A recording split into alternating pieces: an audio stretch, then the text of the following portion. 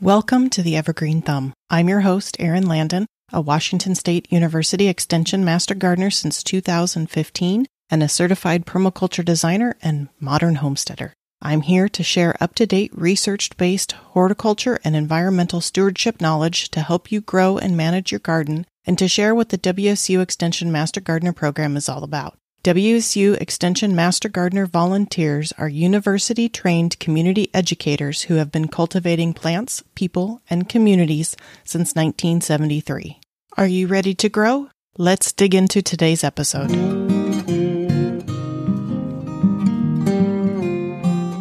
Welcome to the Evergreen Thumb, episode 2. Our guest today is Jennifer Marquis. Jennifer is the WSU Extension Master Gardener Program Director. With more than 15 years' experience working with Extension Master Gardener volunteers to achieve strategic vision in support of the WSU Extension purpose to advance knowledge, economic well being, and quality of life by fostering inquiry, learning, and the application of research, she is humbled and honored to be a part of a program that is committed to protecting our natural resources and engaging people to empower communities. Jennifer, welcome to the show. Thanks for having me, Erin. This is exciting. So, why don't you start off by telling me a little bit about yourself and how you got involved with Master Gardeners? Wow, how far back do you want me to go? no. Uh, let's see. I have been with WSU for uh, since 2007, however many years that is, uh, specifically with the Master Gardener program. And when I was young and trying to figure out what I wanted to do with my life, I earned my my bachelor's degree in nonprofit management because I thought it would give me opportunity to work in a lot of different fields. At the same time, I earned a minor in environmental science. I've always been a gardener. My grandparents on both sides were gardeners professionally and personally. I grew up growing vegetables with my family and putting up a lot of different food for ourselves to eat through the winter. And when I ended up moving to Wenatchee from the west side of the state, I saw a part time opportunity to work with the Extension Master Gardener program. And at the time, I was a young mom with four little kids at home, and I didn't, I wanted to be home when they were home. And this job allowed me to do that, but at the same time, allowed me to keep my foot into a professional door on a career path that I thought really matched up with with who I am as a as a person, passionate about people and passionate about the environment and gardening. So here I am, X amount of years later, uh, leading the statewide program and feeling really good about it. And when did you join at the state level? 2018. 18. Okay. Yeah. So my youngest at that time, my youngest were must have been sophomores in high school, and uh, I talked to them about it, and they were like, "It's your turn, mom. We're about we're about done with school. We're going off to college, so we're good." So it worked out. Oh, that's great. Um, how about you give us a little bit of background about the history of the program? As I think I mentioned in episode one, this is the 50th anniversary of the Master Gardener program, which is very exciting. So yeah. take us back 50 years and how it all started. Okay. Uh, well, 50 years, 1972 is really when the idea was initiated by two WSU Extension agents based out of King and Pierce counties, David Gibby and Bill Scheer. David Gibby was responsible for consumer horticulture, and Bill Scheer was responsible for commercial horticulture, agriculture.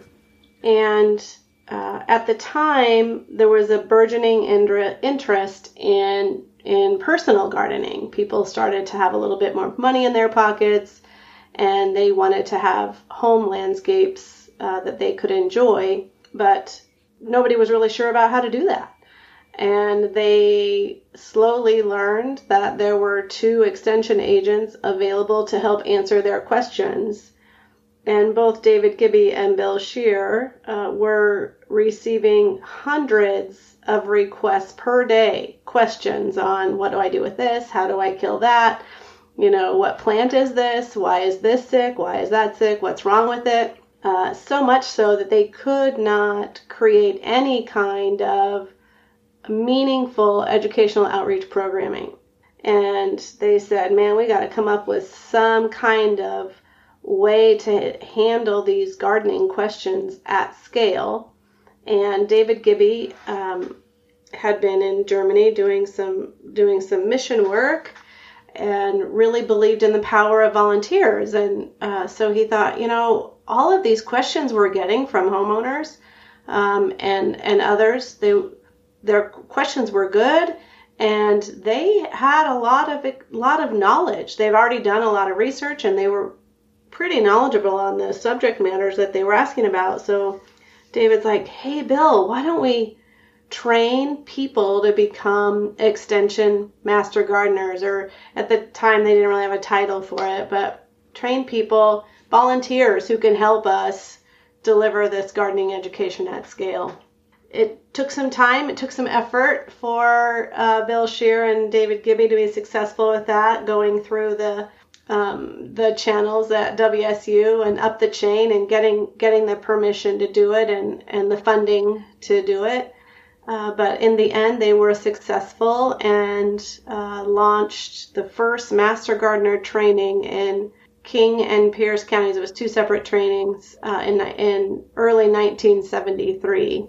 And the first Extension Master Gardeners were uh, in doing plant clinics at the fairs that year of 1973.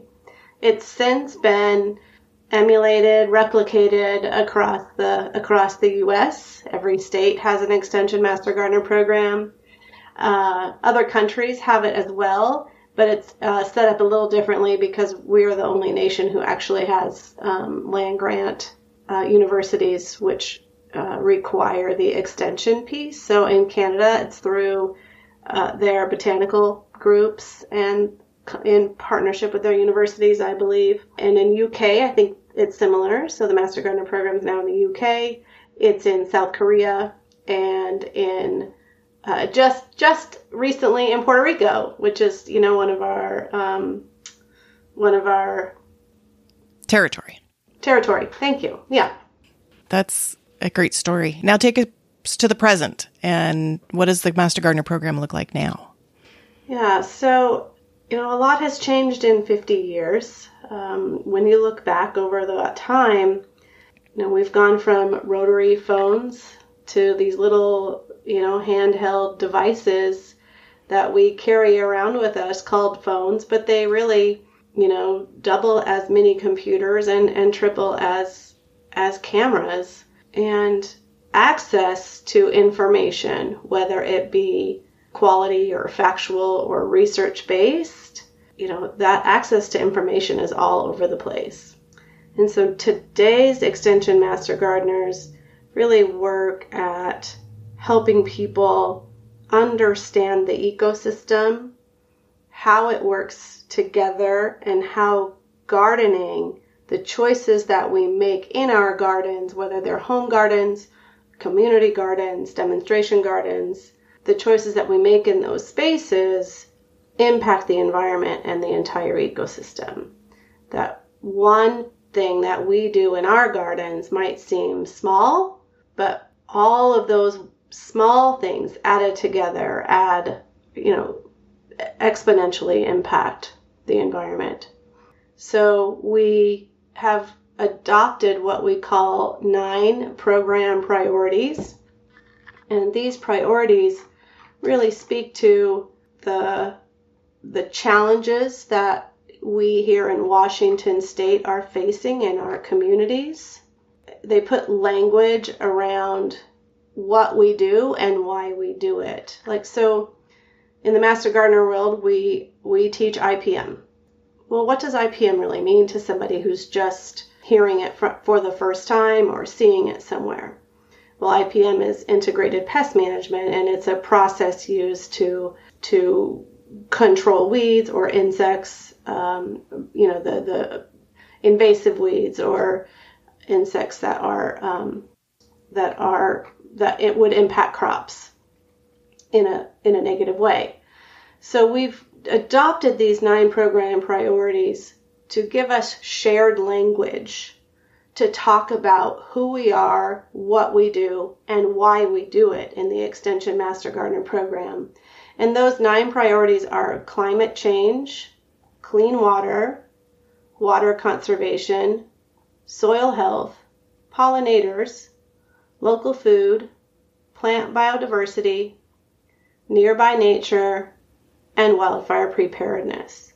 So we teach landscape practices, sustainable horticulture practices to address these nine areas because the ways in which we garden or landscape our yards will help protect us from loss due to wildfire or will help us put food on the table for uh, people who need it or will empower people to grow their own food so that they can put food on their tables.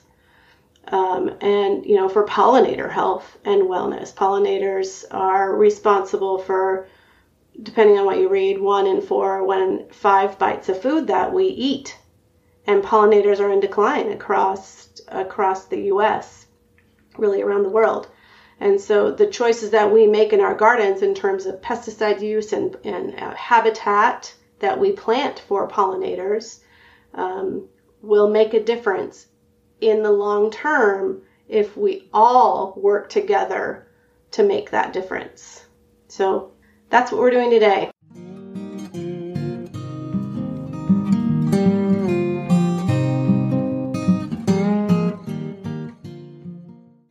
Do you want to learn more about gardening, meet new people, and make a difference in your community?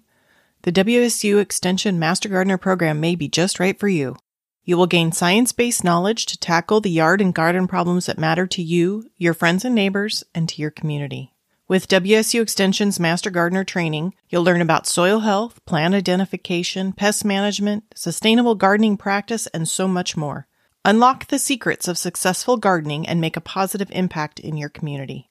Don't miss out on this incredible opportunity to become a certified Washington State University Master Gardener volunteer. Visit mastergardener.wsu.edu forward slash join hyphen us today to learn more about the program and how to apply. So, what kind of projects do Master Gardeners do to connect with the communities with those priorities? Sure, yeah. Um, the mainstay of the Extension Master Gardener program is what we call plant clinics. Uh, some, you might see them called plant and insect clinics or diagnostic clinics. But these are um, are office. They're, they're spaces where the community can come and talk to an extension master gardener about plants while it's eating their plants. So insects about soil or uh, ask any question they want to around their their landscape. Connecting that to the program priorities, though, so one of them I said is soil health. And a lot of times when there is a plant problem, uh, soil, I mean, plants need soil to grow, realistically. there are other ways you can grow plants, but we all know that. But, you know, we need, they need some soil to, to, to grow. They need nutrients to grow. They get that nutrients from the soil. So, a lot of times the soil is the issue. And why is soil the issue? So, we're not just talking to a person in our clinic about what's wrong with their plant and how to fix it. We're also teaching them about what healthy soil is, what healthy soil looks like, because healthy soils prevent de- depletion and ensure the long term viability of our local food security and our natural resources. Soil is the basis for much of what we do. It holds our houses up. It holds our roads together.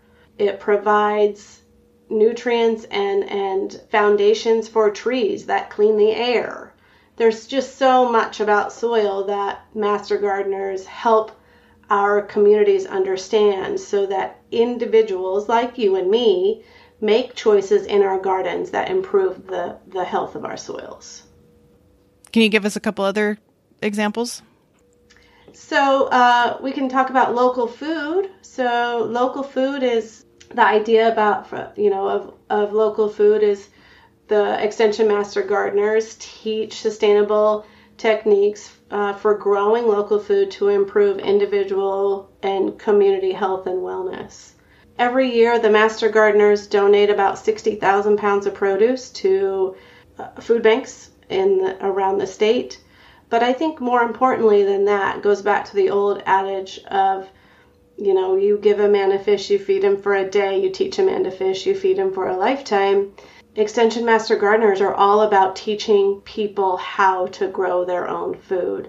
There are research based statistics that indicate people who grow their own food, eat more fresh fruits and vegetables than those who do not, are less likely to develop chronic diseases like diabetes or heart problems because they're eating more fresh fruits and vegetables, because they're in their gardens exercising, because their mental health is generally better because they are outside, connected to nature, growing their own food. They're empowered to put food, they feel like they are in control of their own lives and can put food on the table for their families and possibly their friends and their neighbors. And if we even dig a little bit deeper into that, um, there's some research out of, of North Carolina State University on community gardens and the impact of community gardens on on the health of community. So it, it shows that if you bring community together to grow food together in a space, it develops camaraderie, uh, friendships. People will begin to understand each other's needs in that community at a greater level. And that community will be more food secure because they can make the decisions that as a community that they need to make to improve their own health and wellness.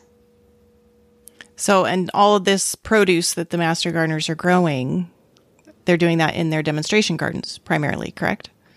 Yes. Yeah. So we have, there's a couple different, um, most counties have demonstration gardens, and these are what we call outdoor classrooms.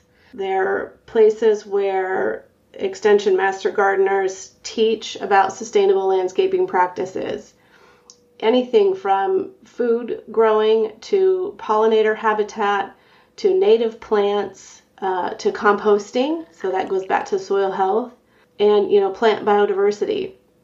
So then the food garden aspect of the demonstration garden though so yes we use that space to to teach others how to grow their own food but the food that we uh, grow as a demonstration and use to teach that food is what gets donated to the to the food banks across the state and like I said, I think it's about sixty thousand pounds a year. It could be a little bit more depending on on the year. And like this year is a great tomato year in Washington, uh, at least on this side of the state, and I think it is on on the west side of the state uh, too. So, uh, and tomatoes are heavy, so.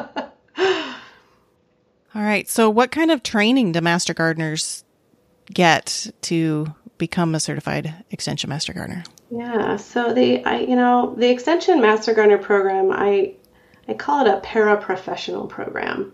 To become an extension master gardener at Washington State University, volunteers or or pers- prospective volunteers go through online training where on Canvas it's a, a learning management system that students at Washington State University use where the but the volunteers go through and learn horticulture skills like botany, plant ID, uh, nomenclature, soil, uh, pollinators, entomology. Uh, I think there are there's like 27 chapters in the manual and then 14 or 15 modules that every volunteer in the state goes through. Um, it takes about 65 or 70 hours for that.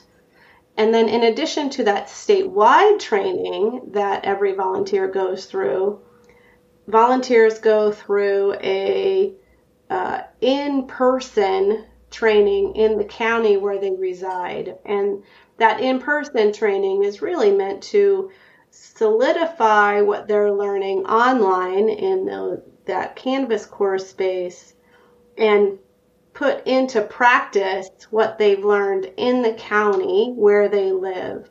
So we have a lot of different um, from the east side, the west side of the state. It's very different. The way the ways in which we garden are very different. The problems that we see are very different. The insects that we see are different, and so that county specific training really gives the volunteer an opportunity to connect with the needs of that county specifically and serve the needs of that county specifically and put into practice what they are learning. So they get the train the online training, the in-person training. Once they complete that in-person training, which is another 60 to 70 hours, then a, to become a fully certified extension master gardener, the new volunteers go through what we call an internship. And that's where they're out in the community serving alongside of a certified extension master gardener, practicing what they've learned. So, in the plant clinics, in the demonstration gardens, um, most counties also offer some sort of um, educational series of classes, whether it's on food growing or um, soil health or climate.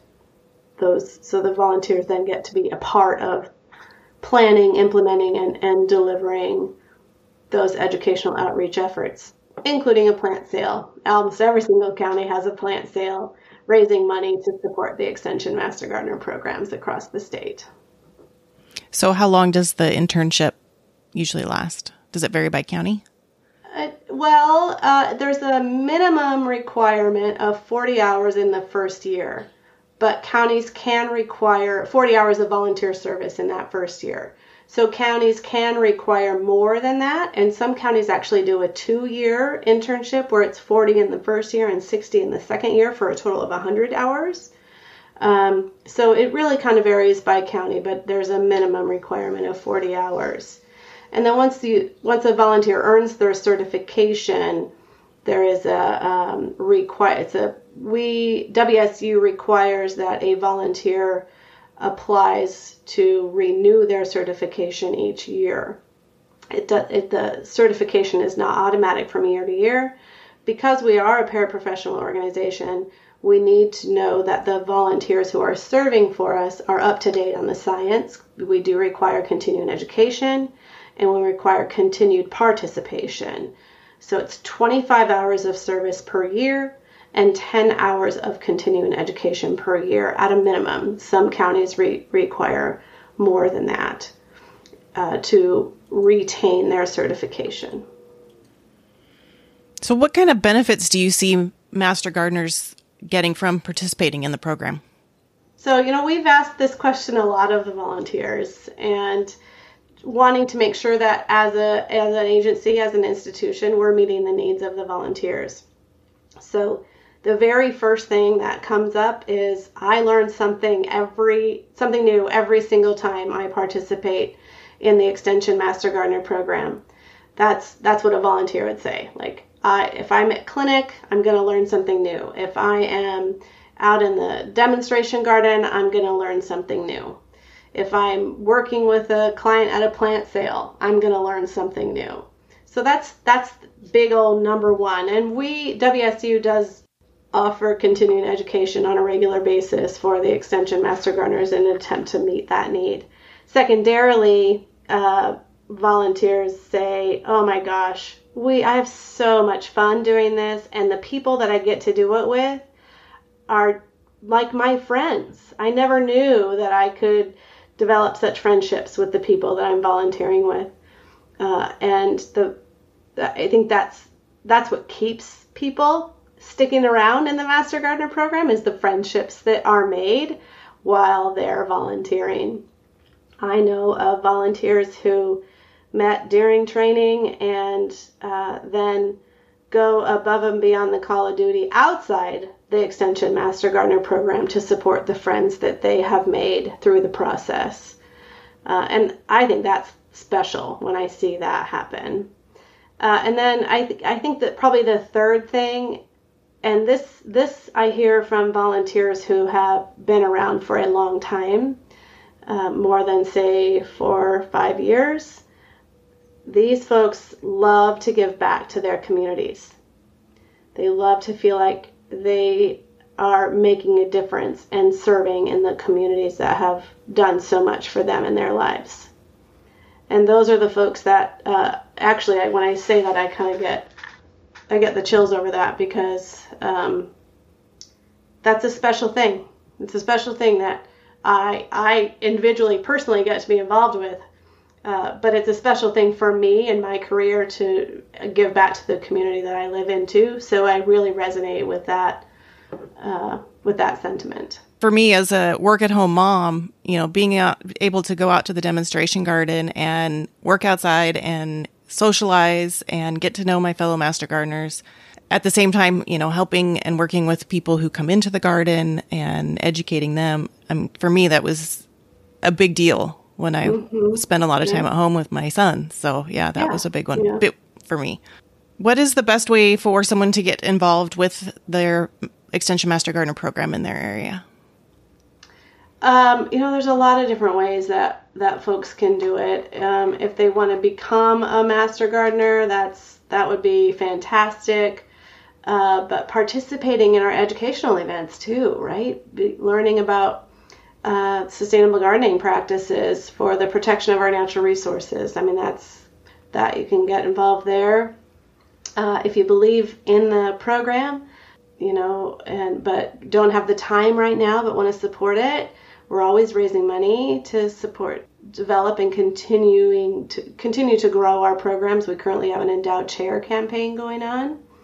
Uh, but on our website, uh, which is mastergardener.wsu.edu, and I think that will be posted with the with the podcast. Uh, check it out. Um, there is a, a tab at the top that says "Get Involved," and so you can uh, go to that and, and have a look to look see and figure out how you might want to get involved with the program every county trains uh, on an annual basis. Most counties are looking at um, right now accepting applications uh, for training in 2024 which is january to april.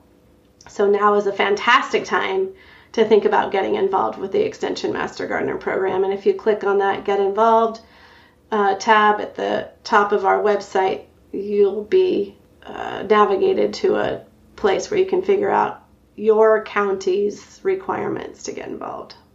And we'll have links to all of that in the show notes, so it'll be easy to find too. Uh, any final thoughts you'd like to add? The Extension Master Gardener program it empowers communities through education, through friendships, through understanding, through bringing community together. And I think right now in today's world, bringing people and community together to make decisions that work well for those individual communities in that grassroots sociologic way is more powerful than it has probably been in my entire life. If you want to be a part of that, come join us. Well, thanks so much for joining me today, Jennifer. It was a pleasure talking to you. Thank you, Erin. Thank you for joining us on this episode of The Evergreen Thumb, brought to you by the WSU Extension Master Gardener Program volunteers and sponsored by the Master Gardener Foundation of Washington State. We hope that today's discussion has inspired and equipped you with valuable insights to nurture your garden.